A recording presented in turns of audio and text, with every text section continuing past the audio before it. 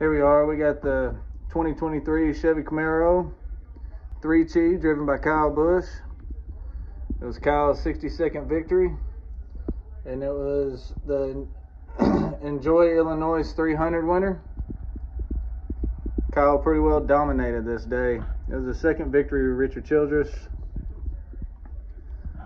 And uh, I want to say Kyle led 121 laps, I believe. Really good looking car. This is the elite version.